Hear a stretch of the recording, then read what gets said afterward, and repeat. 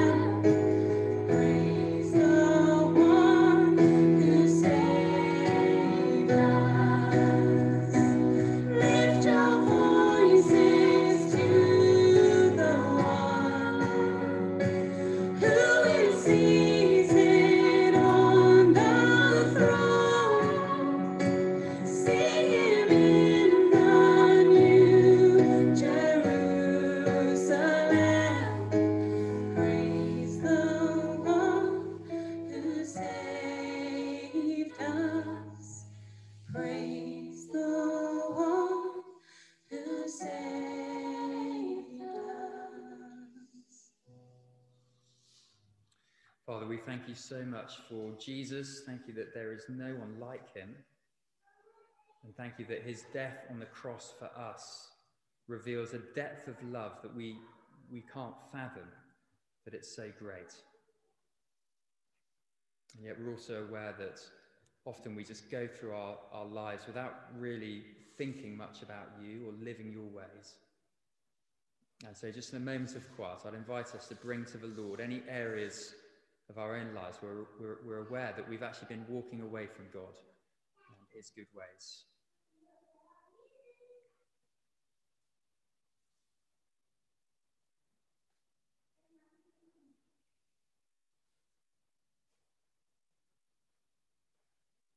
Father, we confess these to you, knowing that you're a good and gracious God, and that through Jesus you offer us full forgiveness. And we thank you in his name. Amen. Well, we're going to continue the um, continue the story now as we hear these last few uh, this last day or so of Jesus' life.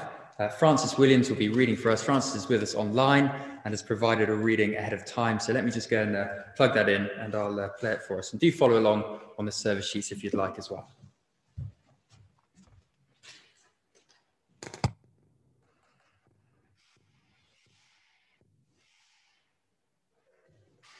The reading is Luke chapter 22, verse 66 to 23, verse 25. Jesus before Pilate and Herod. At daybreak, the council of the elders of the people, both the chief priests and the teachers of the law, met together, and Jesus was led before them. If you are the Messiah, they said, tell us. Jesus answered, If I tell you, you will not believe me, and if I asked you, you would not answer. But from now on, Son of Man will be seated at the right hand of Almighty God. They all asked, Are you then the Son of God? He replied, You say that I am. Then they said, Why do we need any more testimony? We have heard it from his own lips. Then the whole assembly rose and led him off to Pilate. And they began to accuse him, saying, We have found this man subverting our nation. He opposes payment of taxes to Caesar and claims to be Messiah, a king. So Pilate asked Jesus, Are you the king of the Jews? You have said so, Jesus replied. Then Pilate announced to the chief priests and the crowd, I find no basis for a charge against this man. But they insisted. He stirred up the people all over Judea by his teaching. He started in Galilee and has come all the way here. On hearing this, Pilate asked if the man was a Galilean. When he learned that Jesus was under Herod's jurisdiction, he sent him to Herod, who was also in Jerusalem at that time. When Herod saw Jesus, he was greatly pleased, because for a long time he had been wanting to see him. From what he had heard about him, he hoped to see him perform a sign of some sort. He plied him with many questions, but Jesus gave him no answer. The chief priests and the teachers of the law were standing there, vehemently accusing him. Then Herod and his soldiers ridiculed and mocked him. Dressing him in an elegant robe, they sent him back to Pilate. That day, Herod and Pilate became friends. Before this, they had been enemies. Pilate called together the chief priests, the rulers, and the people and said to them, You brought me this man as the one who is inciting the people to rebellion. I have examined him in your presence and have found no basis for your charges against him. Neither has Herod, for he sent him back to us. As you can see, he has done nothing to deserve death. Therefore, I will punish him and then release him. But the whole crowd shouted, Away with this man! Release Barabbas to us! Barabbas had been thrown into prison for an insurrection in the city and for murder. Wanting to release Jesus, Pilate appealed to them again, but they kept shouting, Crucify him! Crucify him! For the third time he spoke to them, Why? What crime has this man committed? I found in him no grounds for the death penalty. Therefore, I will have him punished and then release him. But with loud shouts, they insistently demanded that he be crucified, and their shouts prevailed. So Pilate decided to grant their demand. He released the man who had been thrown into prison for insurrection and murder, the one they asked for, and surrendered Jesus to their will. Okay, let's, uh, let's pray as we look at these words together. So, Father, we thank you again for the Bible. Thank you for all that we learn uh, there about Jesus and uh, the good news that, that, uh, that he is for us. And we pray that we'd be strengthened in that good news and would understand more clearly why it is that Jesus came and what it will mean for us to be um, his people uh, this coming week. And we pray that for Jesus' sake. Amen. So this week I came across a, um, a survey that had been conducted of um, 28 different nations, trying to work out how trusting different countries are as a whole. Um, any ideas where Britain came in the list of 28?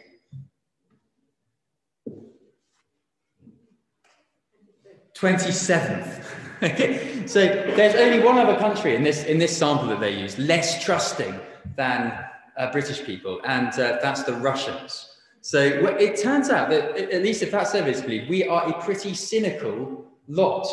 Um, I looked at some other, some other um, kind of bits and bobs on this. Do you know only 27% of us think that Boris Johnson is trustworthy? And if you think that's just about Boris, then only 29% of us think Sir Keir Starmer is trustworthy either. In fact, less than half of us read the BBC News website and think they are giving us an unbiased account. Okay, so so we, we, are, we are a pretty cynical bunch. But if I, if I ask the question personally to you, then how would you answer it? If, if I said, you know, what are you most cynical about in life? Um, how, how, easy do you find it to trust uh, institutions or other people? I wonder what you'd, um, I wonder what your answer would be. One of the problems with this is that there is plenty of evidence behind being a bit cynical. I mean, there are so many examples of people or institutions who have just got it spectacularly wrong. And it's always on the front page of a newspaper. And that breeds a certain kind of cynicism, doesn't it, over time? And certainly religious institutions are not immune from that. And I would be amazed if there aren't some people here who, in fact, I'd imagine all of us here have at least one friend who will, will never touch a religious institution because they have had such a negative experience at some point in their lives. Pro- probably all of us, Nate. Perhaps, perhaps someone in this room, actually, that has been part of your own journey um, as well. And for some of us, when we ask this question about being a bit cynical or finding it hard to trust, actually, it's a very personal thing because some of us have had our trust abused, and therefore, actually, we find it hard to trust anybody um, anymore. So here's, here's the thing we, we, we, we hate the idea of being just naive and just believing anything.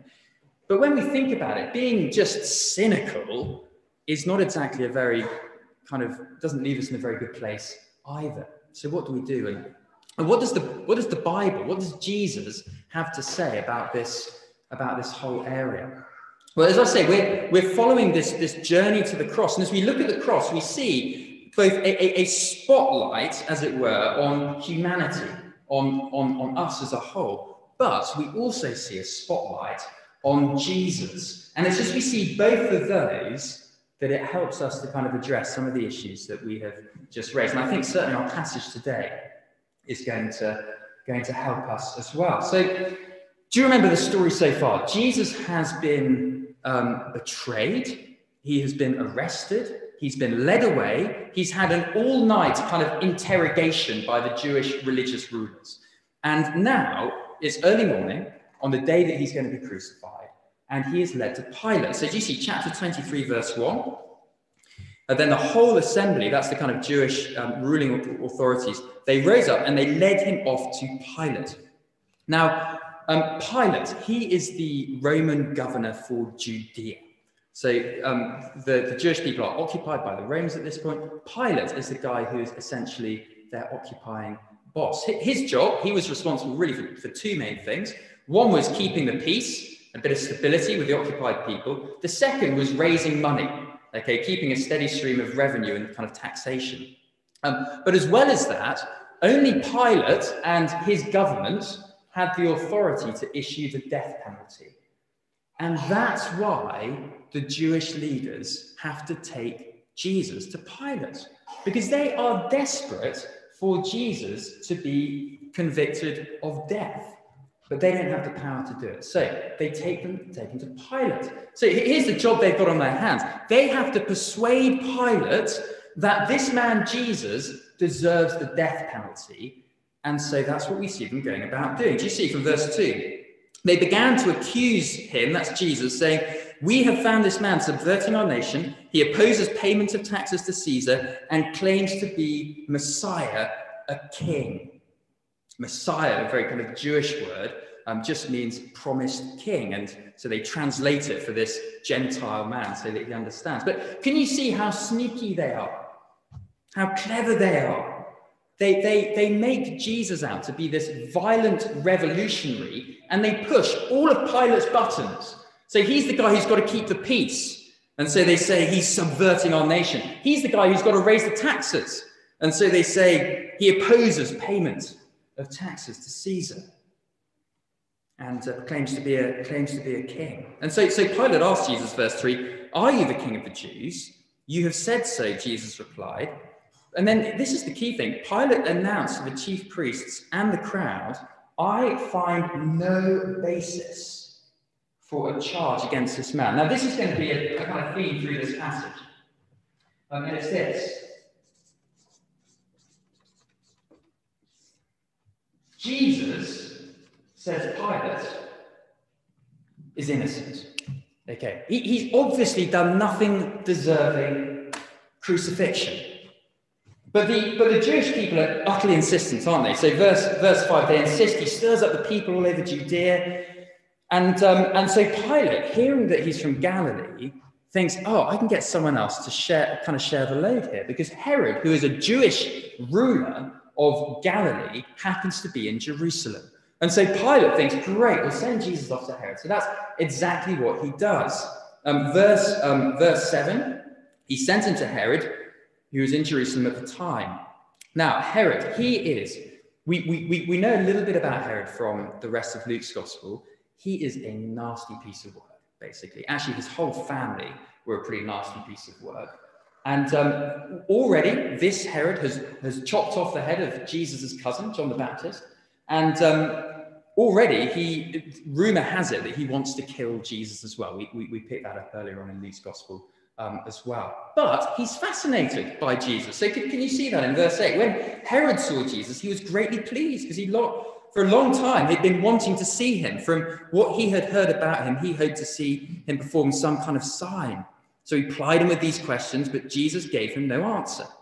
Uh, the chief priests and teachers of the law were standing there vehemently accusing him. They've not given up. Then Herod and his soldiers ridiculed and mocked him. Dressing him in an elegant robe, they sent him back to Pilate. And that day, Herod and Pilate become friends. Now, Herod may be mocking Jesus, but he also has found no basis for a charge against him. That's why he sends him back to Pilate. And so it carries on. Verse 13 Pilate calls together the chief priests and the rulers of the people, and he, re- he repeats the basic point here You brought me this man as one who is inciting the people to rebellion. I have examined him in your presence and find no basis for your charges against him, and neither has Herod, for he sent him back to us, as you can see. He's done nothing to deserve death. Okay, he, he's obviously innocent, says Pilate. He's obviously innocent. And yet, the crowd shouts, Away with him, release Barabbas. Pilate has another go, verse 20, wanting to release Jesus. He appeals to them. The crowds cry, Crucify. And then for the final time, verse 22, why? What crime has this man committed? I find no grounds for the death penalty, therefore I'll release him.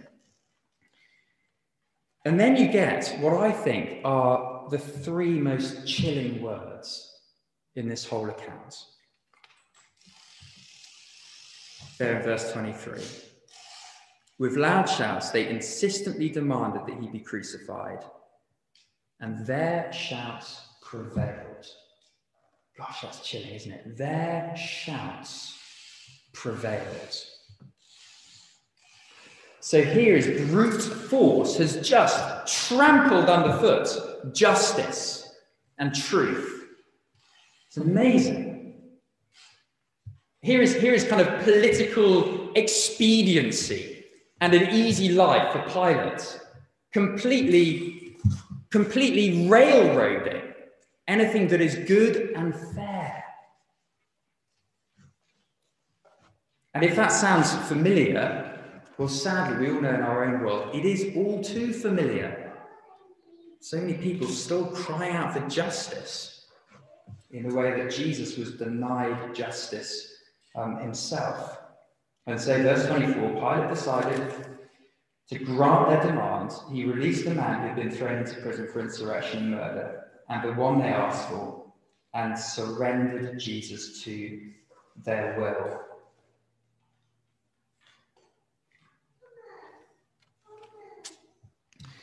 So, who's to blame? Who's to blame?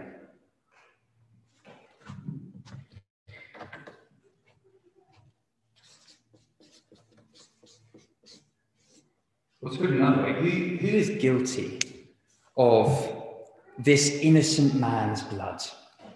Well, quite a few people, aren't there? So uh, I mean, we can run through them. We, have got the religious leaders. Now, this is astonishing, right? These guys are topping up the major religious institution of the time. They are meant to be a picture of kind of a moral example for the nation. Do you remember the Ten Commandments? Thou shalt not lie. What have they done?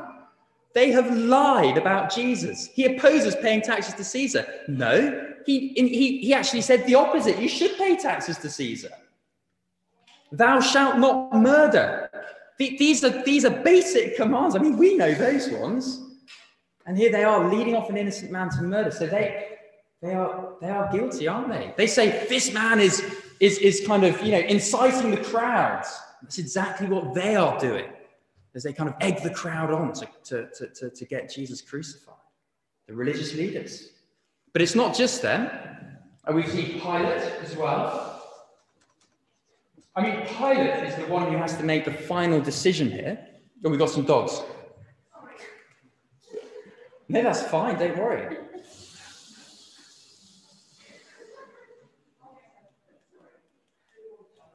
No, your dogs are always very welcome. And indeed, you are as well, ladies. Come and join us next time. Oh, that would be fabulous. Thanks for popping in. Okay, so Pilate, he, he is in a position of, okay, he's the guy who makes the final call here. He tries to say it's someone else's fault. But goodness me, what is he thinking as he goes to bed that night? I mean, he has just condemned someone who he knew was innocent. You know, I think, I think one of the things about any form of leadership is it always requires great moral courage. And Pilate, well, he ends up, he ends up as a coward, actually. But, but it's not just Pilate, it's Herod as well. I mean, here's this guy, he's affluent, he's powerful.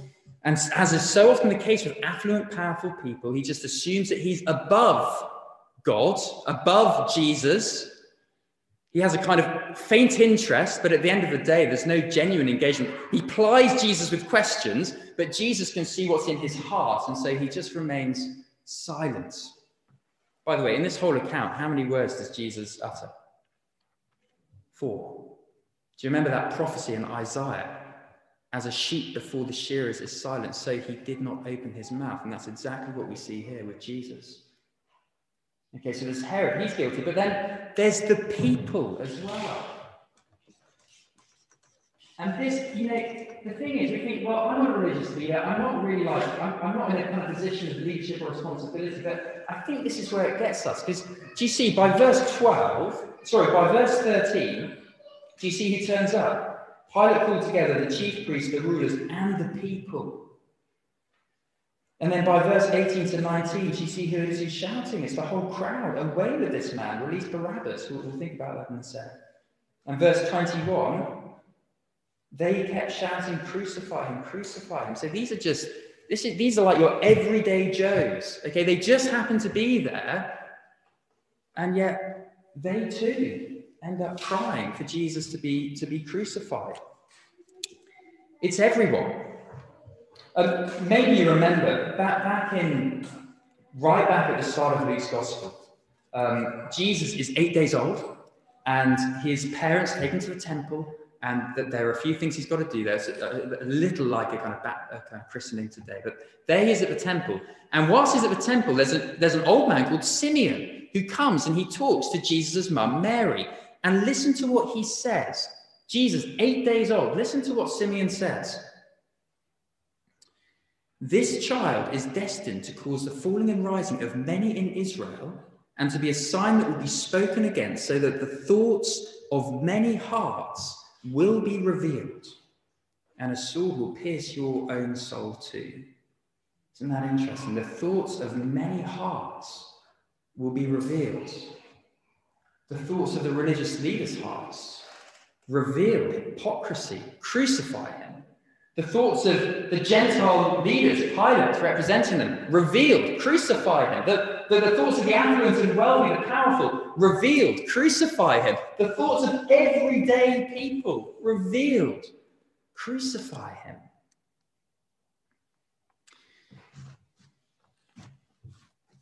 And so later on, after Jesus has died, he's risen from the dead again. Um, the apostles are finding that there is a similar level of opposition as they now preach about Jesus. And this is what they do in the face of that opposition. This is Acts chapter 4. They pray, they say to, to, to, God, You spoke by the Holy Spirit through the mouth of your servant, our father David. This is Psalm 2. This is in the Old Testament. Why do the nations rage and the peoples plot in vain? The kings of the earth rise up and the rulers band together against the Lord and against his anointed one. And then listen to what they say. Indeed, Herod and Pontius Pilate met together with the Gentiles and the people of Israel in this city to conspire against your holy servant Jesus, whom you anointed. And so, do you see the point?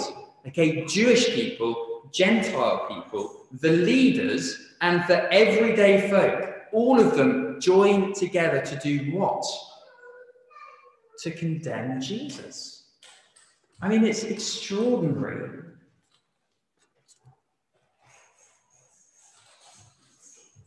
And so the point is that actually none of us are free of guilt. The, the tragic irony when we look at the crucifixion of Jesus is there was only one person who was innocent that day, and that is the guy who was condemned.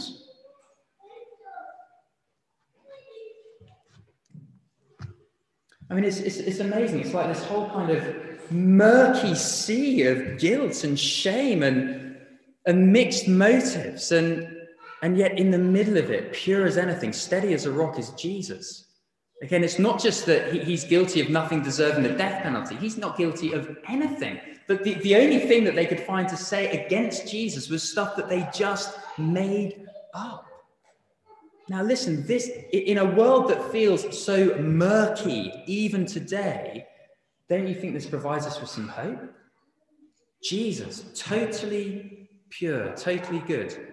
I don't know what you made of the um, the movement that started six months ago. Do you remember when they started toppling the statues? And it was Edward Colston, I think, in, Bristol, who was the first one who went. And do you remember the pictures? The statue was toppled. Now, he did a lot of good things for Bristol, but you, you dig a little deeper, and goodness me, there's some pretty murky stuff that he was involved in, slave trade and so on. And, and then people started looking at the other statues. And, you know, the, the more you look at these great monuments you revere, you do a bit of digging, and what do you find? Wherever you look, there's a dark side to people.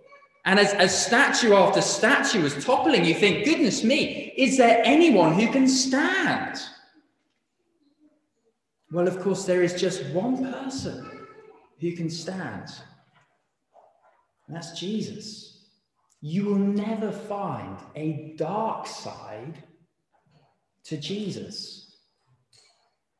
Now, of course, people will take Jesus and, use him for all their own kind of evil purposes. Plenty of examples of that. But Jesus himself, you will never find a dark side to Jesus. And, and, and that, listen, that's great news for us because it means that some of us here who you know, actually we feel like we've been let down by our families. We've been, we've been let down by church, perhaps. Been let down by our friends. Been let down by the system, by the politicians. Well, listen, you will never be let down by Jesus. So, some of us, perhaps, we, we just don't actually feel that safe at home or perhaps at church. There's been some abuse in the past, and, and we struggle to trust people. But listen, if you trust in Jesus, he, he will never let you down. You're safe. You're safe with Him. Because whilst everyone else is guilty, Jesus is innocent. But there's, there's, there's, there's more, and we, we need to finish on this. Um, and this is, this is what makes Jesus such good news for us if we have struggled to trust anyone else. This is what makes Jesus such good news for us. And the picture is given to us of this man Barabbas. Do you see it in verse 18 to 19? We'll finish with this. Verse 18 to 19. Let's get that passage. Okay, the whole crowd shouted, Away with this man, release Barabbas to us. And here's the Barabbas' little biog. Barabbas had been thrown into prison for an insurrection in the city and for murder. So, do you see? This is the irony. Barabbas had done the very things that Jesus was being falsely accused of. And here's what happens. Okay, so Barabbas, to, you know, we, we can put him on his side pretty fairly. I mean, he's he is as guilty as, as, as, as they come. But here's the thing we see happening. Okay, Barabbas gets counted as innocent, and Jesus gets counted as guilty. Now, that is an amazing picture, in fact, of what Jesus came to do for all of us. Let me try and illustrate it like this.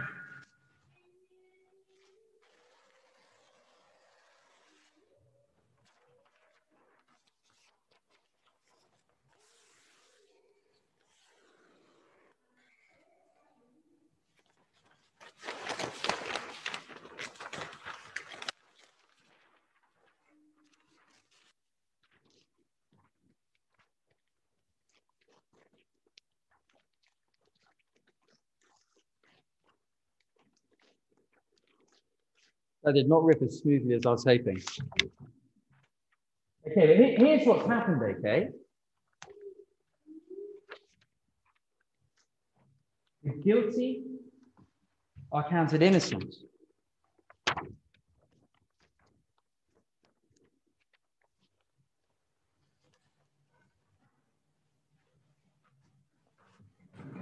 And Jesus is counted guilty. That's what happened for Barabbas. That's the picture of what Jesus offers for all of us. Now, listen, it's, this bit's important because this isn't automatic. It's not that the leaders were automatically counted as innocent by Jesus' death. They had to respond, okay? But here's, here's how it worked Jesus on the cross, he faced the punishment, he bore the guilt for all of the wrong things that we have done, because we've got to find ourselves in this list somewhere as well, so that if we trust in him, we can be counted now as innocent. So on the, on the day of Pentecost, after Jesus risen from the dead, the first ever sermon, Peter looks at the crowd of people, you know, many of the people who had been crying, crucify. He said, The one whom you crucified is the Messiah. And do you know what the people say? They say, What shall we do? And do you know how Peter answers? He says, Repent and be baptized. Okay, all you have to do is turn back to Jesus, trust in him. And as you crown him as your king, then you get transferred to the innocent side. It is the most amazing good news. All of this, of course, happened at the Passover. Do you remember the Jewish festival of Passover? What kind of lamb was it that had to die? A lamb without blemish, perfect lamb. And so Jesus died as the perfect lamb, the perfect substitute for us, the innocent one for the guilty. So, here, so, here, so this is the big invitation then that Jesus offers to all of us here in, in his word today. Give me your guilt, and I will give you my innocence. That's the invitation he holds out clearly to all of us. Give me your guilt, and I will give you my innocence. You know, I got a letter this week from a guy who I knew from a previous role before I was living here in Henley. He, you know, he started coming along to. I won't tell you his name for kind of uh, confidentiality, but he, he started coming along to, to church. He got, got a little bit involved in so on, and then tragically, about six months ago, I found I, he was all over the news. He'd done an awful, awful thing. He's now in a high security prison, and he was convicted as as as, as guilty um, just before Christmas. And he wrote me this letter this week, and he said, I'm, Dear Sam and Lucy, that's my wife. Lucy, I'm truly saddened by my crimes. I've messed my life up. I want to change. I need God's help. I don't like how I've turned out to be. I really need help.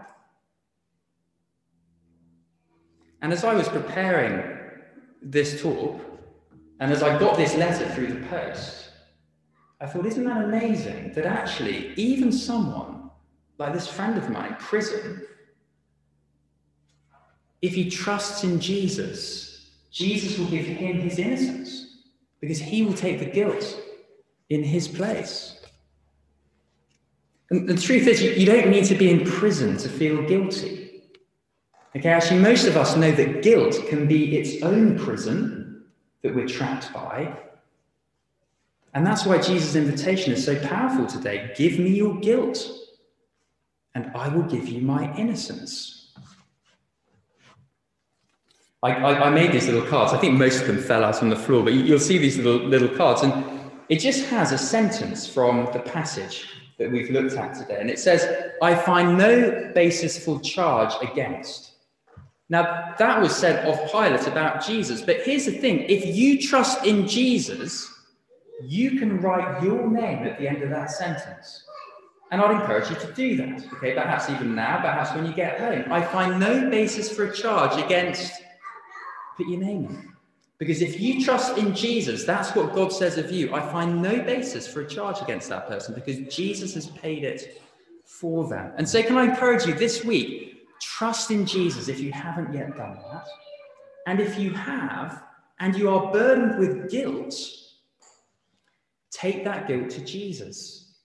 Okay, whatever it might be, whatever failing you're struggling with, remember those words. I find no basis for a charge against this person. That's what God says of you now because of Jesus and what he has done for us. And for those of us who struggle with cynicism, do you remember how we started? Do you see what a remedy Jesus is? Because here's the thing about cynicism it tends to point the finger elsewhere. Okay, it's the Edward Colstons of this world that are the real problem. Whereas the cross teaches you humility and says, actually, yeah, you know what? I'm part of the problem as well. And so it teaches humility. That actually, humility is a much better response to the problems of the world than cynicism. But also, it gives you hope because Jesus, when you trust in him, not only forgives you, he also changes you so that increasingly you can be part of the solution rather than part of the problem in this world as well. Give me your guilt and I'll give you my innocence, says Jesus to each of us today. Let's, uh, let's close with a moment of uh, kind of quiet reflection. Perhaps you might want to pray in the quietness of your own hearts.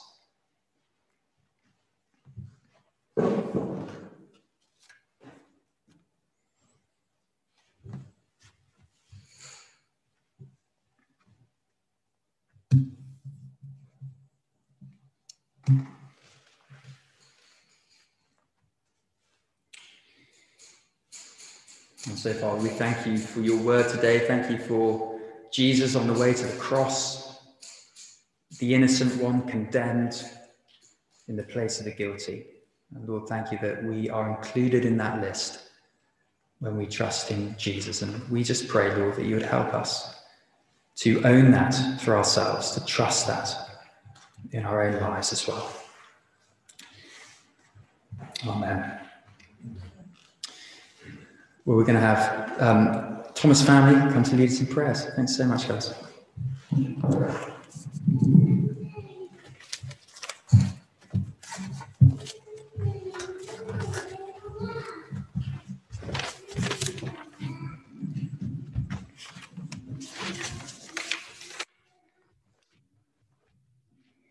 Dear God, thank you for this beautiful spring day, for the green starting to show on trees, for the flowers in bloom, for the songs of the birds. Thank you that it all points to you as the creator and sustainer of everything. You are control you are in control of everything. Thank you. We are sorry for the times we have taken one another for our health or work or kindness and fun for granted. Sorry for thinking about ourselves so much more than we think of others. Please help us to be people of thankfulness and gratitude firstly towards you, but also towards others. May we also be positive influences at home, school, work, and church. Thank you for the plans to come out of lockdown soon. Thank you that the vaccination programme is gradually making it safer for people in Britain, but we pray that countries will work together to make sure that, that it isn't just the rich nations that benefit from the amazing scientific work that has been done. Please help us to to be concerned enough to pray for those around the world who need support or are just or, or being persecuted because they love Jesus and want to share the good news with everyone.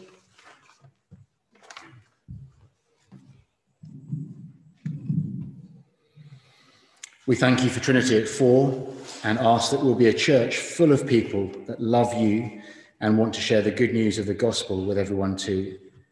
We thank you for the Easter services coming up soon starting next week with Palm Sunday. Please may we be praying for conversations with others that lead to opportunities to speak about Jesus and invite them to church too. Thank you that you are with us right now and that you love to answer our prayers. Thank you that Jesus taught us how to pray and that we can join together in saying the Lord's Prayer now. Oh. Our Father, who art in heaven hallowed be your name.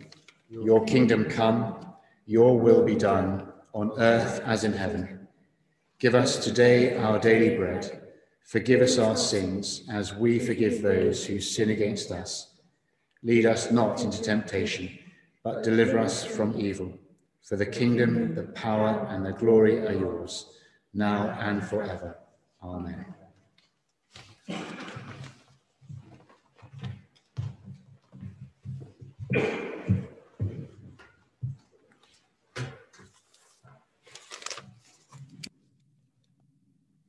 Thanks so much, guys. Um, so we're, we're going to share communion now. Let me just explain how that will work. Um, we've got some little um, disposable all-in-one um, communion things, which means that um, there's no risk of any kind of contamination. So it's got a little bit of bread in the top, a little bit of wine underneath. So pick one up as it comes around, and then and then you can um, have both bread and wine at the same time.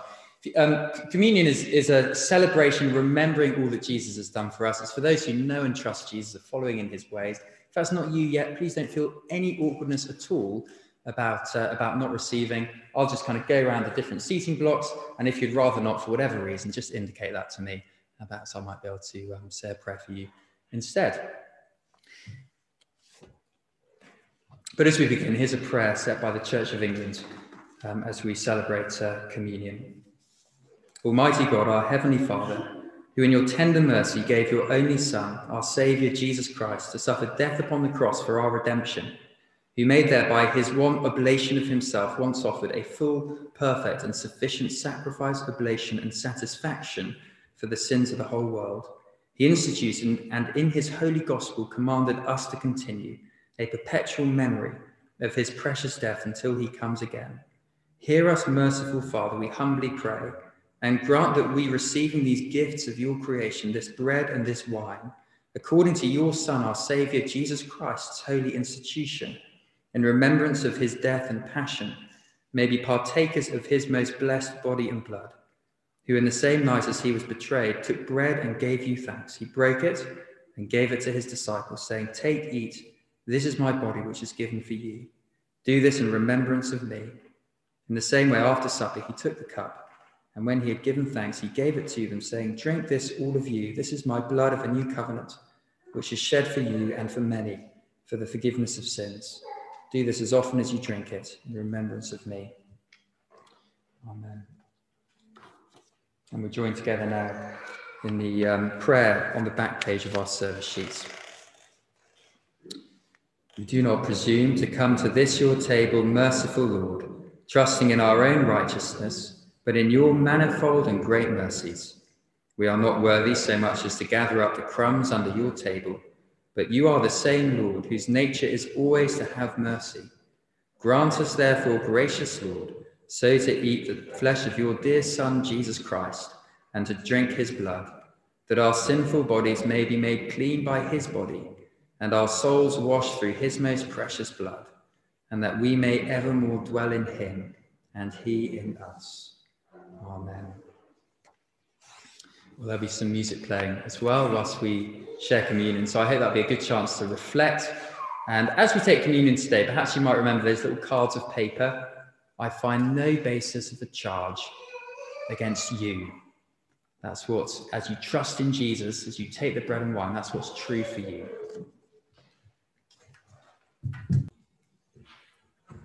Jesus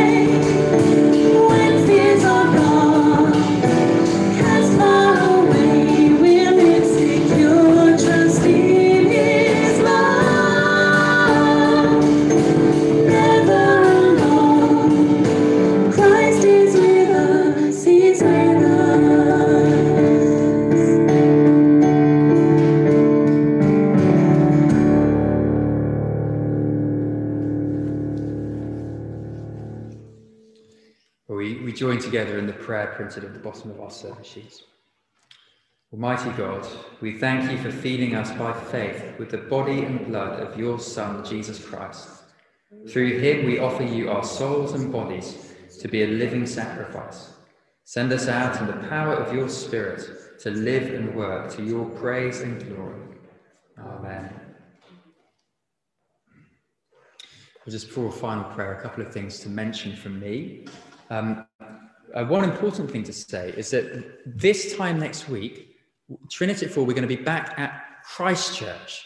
Okay, so we the, for, for those who are kind of newish, we kind of COVID has slightly kind of played with played with some of the plans, but we've moved to Christchurch because in ordinary circumstances, it's the only way that we can accommodate all the young children who we um, who we kind of would normally have coming along. So we are lots of our kids are still meeting. By the way, they're down at St Mary's on the bridge doing their own session at the moment. But from next week, we're going to be coming all back together at Christchurch. There's plenty of space. They've got a big balcony as well. So it means there's loads of space to fit everyone in with the distancing and so on. Um, and that's going to be an all together service. So I hope it will be a really special time. For the first time in a little while, we'll have all a good number of kids back in um, with us as well. So we'll have all together services for the next three Sundays down at Christchurch, and then we'll remain at Christchurch going through into the summer um, as well. So that's a reminder. This time next week, we'll make sure someone is stationed here just in case anyone forgets. It's only five minutes from here, but uh, if you can remember, that would um, that would help as well. Um, yeah, and then the final thing just to say is we've those who get the newsletter. By the way, if you don't get the newsletter and would like to, let me know because we can sign you up for that list. It kind of keeps you in touch with what's going on. Um, but you'll have picked up our kind of finance communications the last couple of weeks. Um, thank you so much to all of those who've already got in touch, um, kind of re reviewing their their kind of giving and, um, and, and pledging new giving and so on. Um, and just to say that this week um, is the kind of last the last week. We'd encourage you to to do that. It'd be nice to have have all of those in for the end of this week. And there's one more communication coming later this week. so that's just to say thank you for uh, for that as well. We'll be on at 8 a.m. tomorrow morning for, for our Lent reflection on Zoom if you fancy joining us. And if you're wondering about any details for these, again, get on the mailing list and then you'll have all of those in your, in your inbox. Good. Well, that's all from me. And why don't we close now with a final prayer?